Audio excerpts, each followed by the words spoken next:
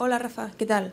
Quería preguntarte que a pesar de que aquí no pase y que en los cuatro Grand Slam haya equiparación salarial entre mujeres y hombres, eh, en muchos otros torneos esto no ocurre. Quería saber qué opinión te merece que las mujeres cobren menos que los hombres en el tenis y que en qué crees que se basa esa desigualdad. Gracias. Pues no lo sé. Eh,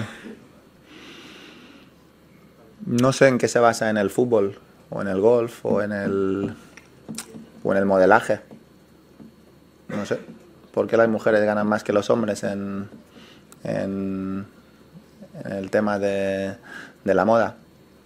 Pues pero ahí sí que tampoco hablamos todo el día de, de, de, diferencia salarial. Entiendo tu pregunta, pero es que llegamos a un momento dado que, estamos haciendo todo el rato preguntas capciosas, preguntas que estamos buscando todo el rato la, la polémica, ¿no? Y, y, a mí personalmente, como intento evitar la hipocresía habitualmente, pues contesto y a veces, eh, como aunque conteste de una manera que considero correcta y ecuánime, vosotros, sin ser una crítica más de la cuenta, os interesa más un titular que pueda vender que lo que yo digo, pues no te, no te voy a contestar más sobre, sobre este tema porque creo que contesto habitualmente de manera coherente y correcta y a veces se, bueno, se tergiversan lo que, las palabras que yo digo y evidentemente tengo madre, tengo hermana y son de las personas que más quiero en este mundo. O sea, que,